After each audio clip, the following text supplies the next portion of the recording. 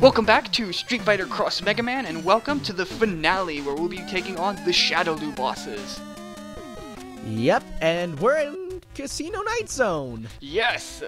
And already we're at the boss. However, this is actually different from what you would expect. Balrog will kill you in one hit if he touches you. So what you gotta do is, you gotta keep running. Honestly, I haven't seen this idea in a Mega Man game before, and for that, I think kudos to the creator for coming up with something different in a game series that has, what, 12 titles now? I know. Yeah, it's kind you of You got strange. 1 through 10, and then you got Mega Man and Bass. And then you got 9 and 10. It's a lot. There's a lot of Yeah. games. But yeah, this game has a lot of uh, interesting ideas, I have to admit. I mean- again, it kind of makes me sad that Capcom isn't, you know, doing some of these ideas, but at the same time, I'm happy this was made, period. I'm an optimistic gamer. I'm not somebody who, you know, other than if it involves Call of Duty, then Eh. it can go suck it.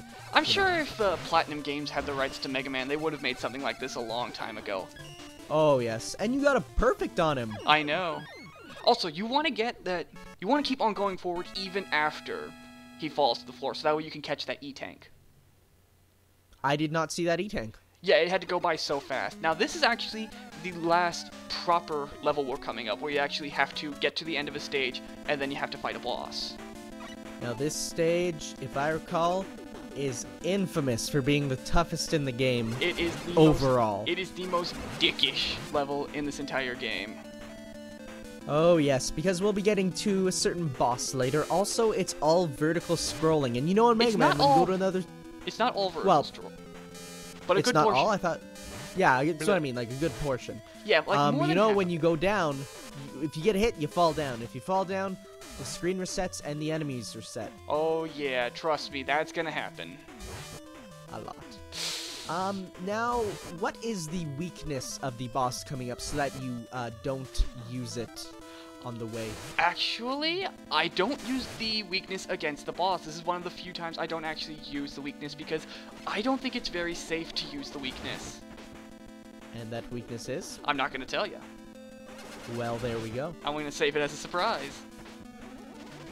Seem to be having a bit of trouble there. Yeah, because I'm actually stupid and I forgot my usual strategy to getting up this section because there's actually a much easier way to do this. Fortunately, all of your weapons reset if you die. That's nice. Yes. If you get a game over, do you um go back to this level or do you have to do the last level again? you go back to this level. It's n- the uh, game overs aren't really that dickish in this game. They don't have you go back to anything. You just have to go back to the start of the stage, which I think is a staple in the Mega Man series. Um, yes, actually, now that I think about it. Yeah. Although I don't think the um, weapons coming back. They don't do that very often. I think there's one or two that do that, but uh yeah, it's rare. But yeah, that's my usual trick to uh, getting past this section without too much difficulty, using uh, Rolento's grenades, and then just going through the rest of the section using um, Crimson Viper's weapon. The Optic Blast, stolen from Cyclops. Yeah, I know. I find that kind of weird. She uses that weapon in Marvel vs. Capcom 3. Cyclops is a Marvel character, and she ends up using that move in Marvel vs. Capcom 3. You know it was actually Marvel's decision to not put Cyclops in and not Capcom's? Really? Yep. Interesting. A lot of a lot of the character choices people blame Capcom, but it's actually a lot of Marvel's choices to promote upcoming movies, media, a lot of things that were um, gonna be, you know, like right. You might think, you know, at the time, Iron Fist, Nova, Rocket Raccoon, they're not important, Yeah. but you look later. Iron Fist and Nova appeared in the Ultimate Spider-Man cartoon, Ah, and Rocket Raccoon is getting a movie, The Guardians of the Galaxy, a live-action Marvel movie. really? That's interesting. Yep. That's interesting. I do like how the this stage and well Wily stages in general, although this isn't really a Wily stage, castle stage as they call it, final rush stages, whatever. Um, they incorporate elements from every level, even if they don't make sense, like plants on sidewalks. Yeah. And I really love Oh, this. look, look, look at all these items here. It's almost like they, they, they believe we can't do this or something. Yeah, I think they might have a good idea. Oh, Vega. Yes, Vega. Oh, or is- as. Okay, you go ahead first. I was going to say, this is single-handedly the most dickish boss in this entire game. Even more dickish than the secret boss. That's saying something. Oh, Now, something interesting that I'm sure all Street Fighter fans know is that um the three characters of M Bison, Vega, and Balrog actually got their names switched around due to fear of copyrights. yeah. Now, M Bison was actually Balrog, the boxer, hmm because you know M Bison, M Tyson. Yeah, I was actually going to bring that up during the Balrog fight, but we were talking too fast. Yes. But uh, they changed that due to fear of copyright. So now Balrog, which is what this guy was? I- yes, Vega was um, And Bison's M. Bison. original name. So this guy was Balrog. Um, to stop confusion in the fighting game community, they just call him Claw. Mm. Yes, they, they have Claw, Dictator, and Boxer. yeah. Now, you were actually asking me about um, his weakness. It's actually Chun-Li's kick. And if you, Ah, yes. yes, and if you actually use it on him, I believe hitting him with that instantly gets rid of his claw and his mask, which removes his... I think it lowers his defense, and it decreases his reach with the claw. Yep, and that is actually a reference to the infamous shower scene. Because that's what she used when, you know, in the shower. Yeah. Well, I said the last level was the last proper level. This one is a little shorter, but I think it might be familiar to most Mega Man fans. So, I have a question. Yes. Why do you have the helmet suddenly? Um, yes. Funny story. There's actually a super secret final boss in this level, but I forgot to do the proper stuff in the last playthrough. So this is the newer-ish playthrough where I forgot to take the helmet back off. And you didn't really seamlessly edit it, but that's fine. I mean, we're not Eh. gonna lie about that. And only someone like you would notice something like that. I'm pretty sure people would notice if you all of a sudden started wearing a helmet. But yeah, that's the um, the tropical hazard in action using the uh, jump feature, and I think you said you can do that from midair. I think. I'm not sure. I know you can do it with the Mega Ball, and I'm pretty sure you can. It is the exact same as the Mega Ball, but So classic Mega Man players will probably recognize this as the boss rush mode.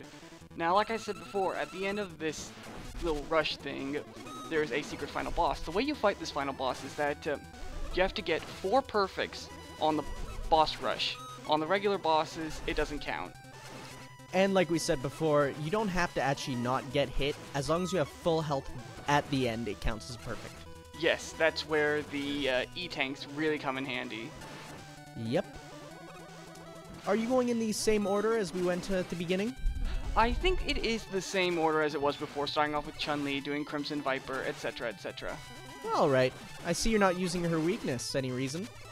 Um, I know her weakness is the Hadouken, but I don't know. I just found the Mega Buster to be just as good. It's because you, uh, it, they're basically the same in this game. Yeah, pretty much. I thought that was a bit of a missed opportunity. I don't know. Hmm, whatever. Well, actually, one thing I forgot to mention is that you notice the, um, the two floating ball thingies in the boss rush room, right? You can actually hit those with a Mega Buster, and that'll give you the uh, health and weapon ammo, Is like it in ev- every other. is it every time you go back, or is it just? uh... It is every time you go back. Well, that's useful. Yes, it's one thing you really need to know if you want to take on the uh, boss rush. Did you farm E tanks beforehand, or? Because I don't remember you having that many. Well, I actually used a special cheat code to get to the Shadoloo bosses and have four E-tanks. That's right, because you're using the uh, version two. You have the passwords. That wasn't Yes. in version one, and that was a lot of people were angry about that.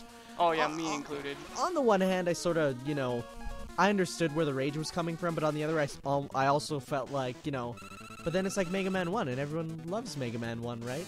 Yeah, I guess that's true, but eh, I guess a way to continue would have been nice.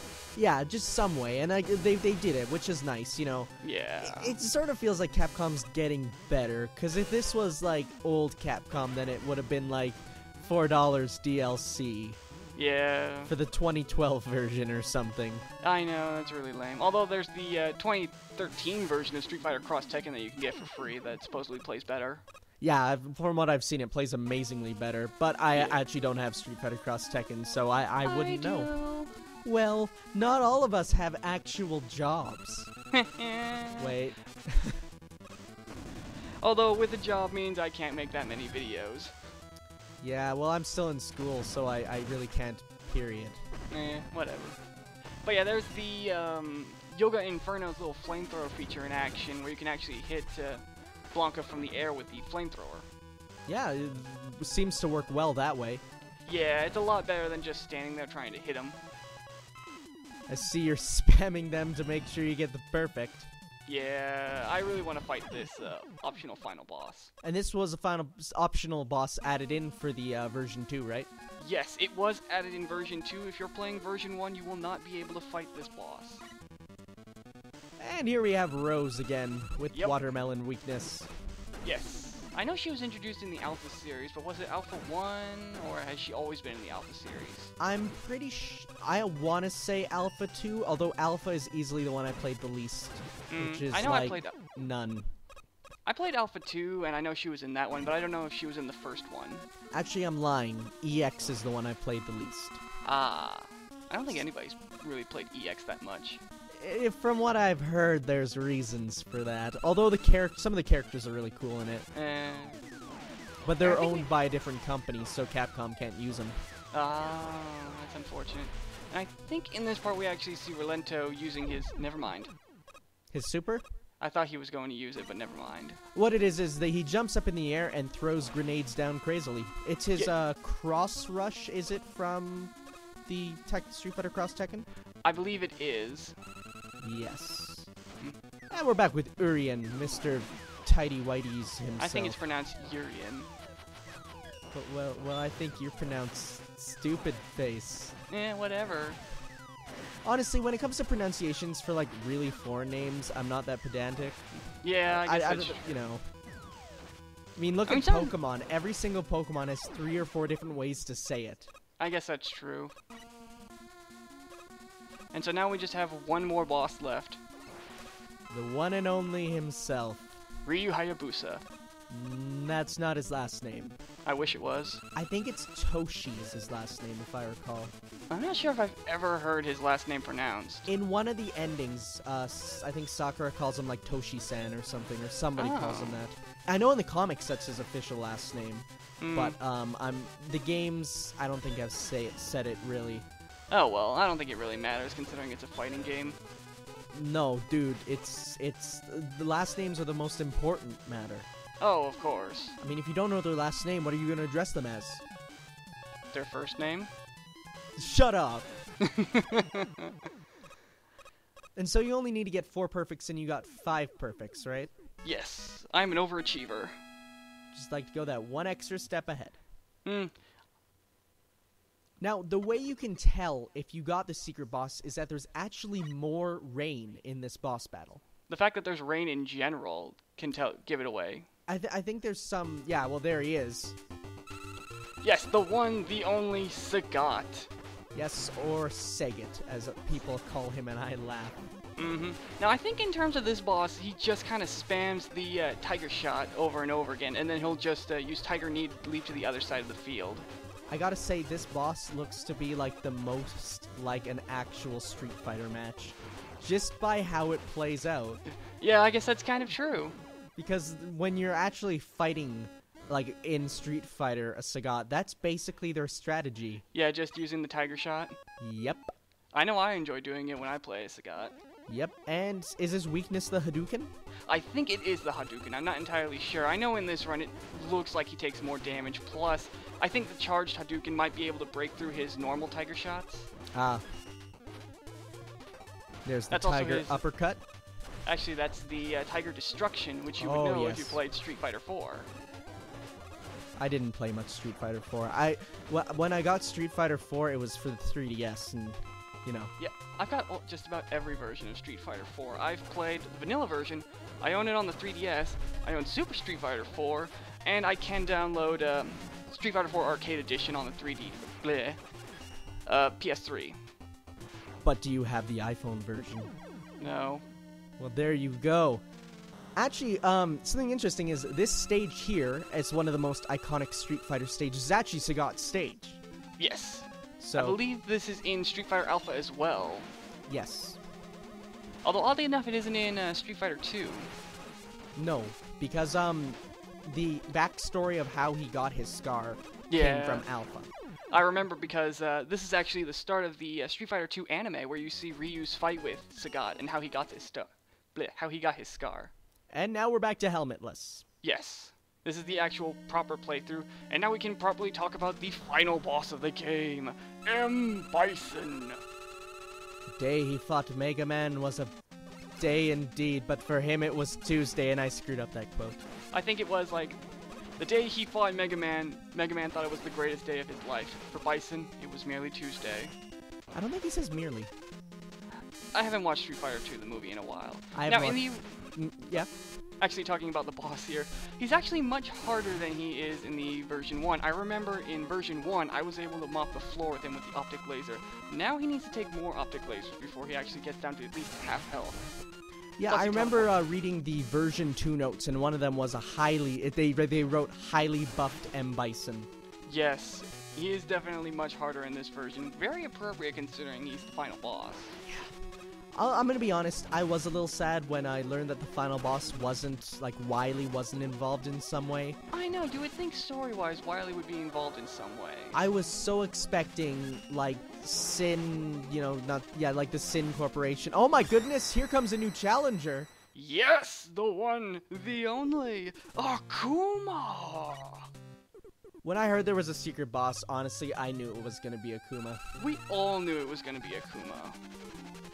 So I guess I should probably talk about the way he plays. Of course, he starts off with his super, the Raging Demon, which is a one-hit KO. He can also teleport, that's very annoying. He can shoot fireballs in the air, charge fireballs, he can Shoryuken, and he can dive kick. He's basically a harder version of Ryu. Yeah, basically. Also, he can teleport. Oh, Misogi. I remember that attack. Yeah. It wouldn't be Akuma without teleportation. Now, actually, No. now that I think about it, have you ever fought Akuma In what? In any of the Street Fighter games? Because Yes. he's been in like two, Alpha. yeah, yeah, yeah. So you've never fought Akuma before? No, I have. I fought him in uh, 4. Oh. Yeah, same here. But uh, I know that he has like harder forms. yeah. In arcade version, like he has Oni and Shin Well- Akuma, I think. Yeah, and then there's also Shin Oni, which you can fight, which is broken as crap, I've heard. Yeah, that's why he's not a playable character. No, it's. Yeah, I bet you if they do, they do do a version three, they'll probably incorporate another secret thing like this. Yeah. And I can see that. I was going to say, I was using his weakness, the Hadouken, but as you notice, he doesn't take that much damage to it. You gotta be really fast if you want to beat him. You did a good job, I think. Um, considering this is try number five that you didn't see. You did an okay job that that thing. And the thing that I should probably mention is that you'll get this ending no matter who, what final boss you fight. If you fought uh, Akuma, which you need to get four perfects is to fight him, or if you fought Bison, the normal final boss. All right. So that's the end of the game. Yep, Short game. Um, very good for a free game. Very, yeah, very, very good. Um, I was reading on TV Tropes. Apparently, they said that there is a chance it'll come to other systems, and that if it does, then it will get like more upgrades and stuff. That'd I'd, really lo- nice. I'd look forward to that. You know, mm-hmm. I think there's there's a lot of opportunity with this, and um, you know, with the music, the visuals, just everything. I think it's awesome. Yeah. I said before that it was a little too easy, and I'm sticking to my guns with that one. Compared to any stage in like Mega Man X or any of the classic Mega Man games, this is not really hair pulling out inducing. But I think it's fair. I mean, it's just a fun little game to play when you have the free time. I think it's the perfect level for getting newbies in because it's Yeah. still that kind of there is a little bit of you know hardness to it, and so they'll know that the games are kind of difficult. But Mm, then you know you give them Mega Man 2 and they'll have no idea what to do. Oh yeah. I mean, I think a hard mode would have been nice, making the bosses a little harder, making some of the, uh, adding some of the classic Mega Man dickery like spikes on the ceiling and water areas, things like that would have been nice. Now I remember reading that they actually were thinking of having a Street Fighter character as a secret character to play as. Um, I remember thinking like, oh, that'd be cool and something I'd look forward to in a ver- in a version three if it ever happens. Yeah, it would have been nice to play as uh, Ken or maybe Sakura, who Well, played like, I kind of mean- like Mega Man. If if if they do put Ryu as a playable character, I mean, it wouldn't be that hard to switch out, you know, Ken for the Ryu boss. Yeah, I guess that is kind of true. So, you know, that that'd be cool. Hmm. Now there So- are some uh, secrets. Would you like to explain what some of the other ones are? No! I'm going to save that for the video description, so if you look beneath, you will see a few secret codes. One of them is actually coming up. So I want to thank you all for watching. I've been Super Cold Chaos, And I've been Tanner. and we'll be seeing you in maybe another crossover playthrough. See you later. See ya.